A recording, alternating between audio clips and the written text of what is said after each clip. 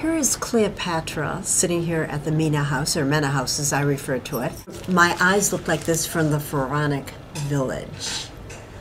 I don't know where to even begin except to say if you haven't come to Egypt yet, I don't think you know what you're missing. Don't worry about the food. Don't worry about security. There is absolutely great security. They sign you in and out of the hotels.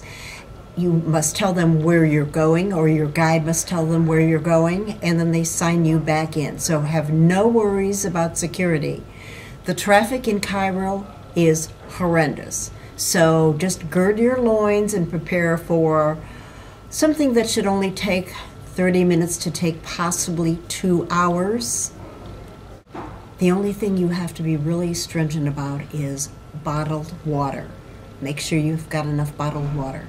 You can eat the foods as long as you're in a clean tourist restaurant.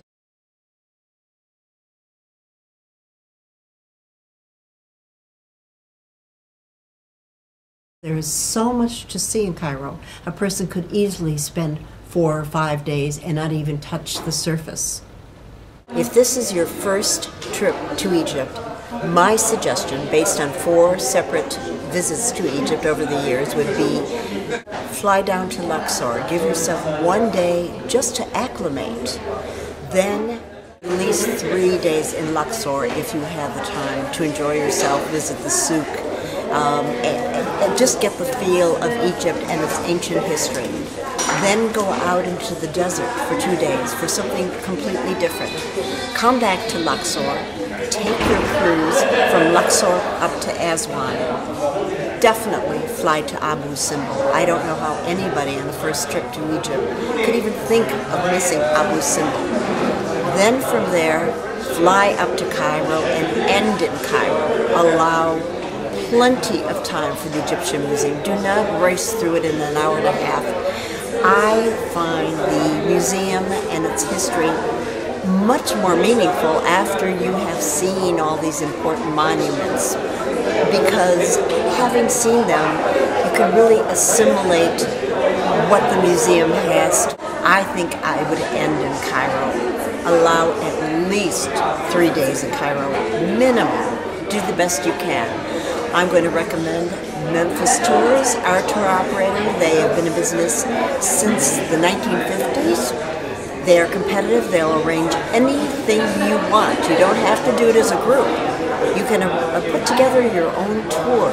And FYI, they gave me no freebies, not even a free drink. I got no discounts. I'm recommending them because they are excellent, absolutely excellent.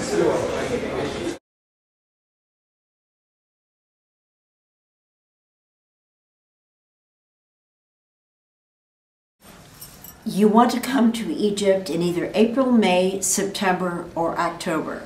It is not considered high tourist season then, and the weather is the best. December, January, February, and even into March is high tourist season, and it is darn cold. Make sure you bring a warm jacket. The weather changes constantly, and on this particular trip, it was really cold. If you haven't been to Egypt yet, I don't know what you're waiting for, especially right now. Jump on it. Prices are low and the sites are all still there. You'll have a wonderful time and you'll be safe.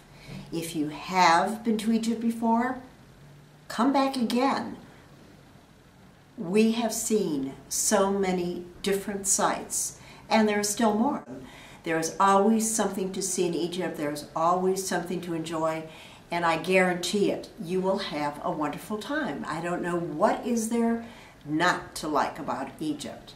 Come and visit, see for yourselves. Do come. How many times in your life will you ever have a chance to see a site like that? Join the millions and millions of other people who have been fortunate enough to visit Egypt and stand awestruck as we have every single day at the sight of these unbelievable pyramids.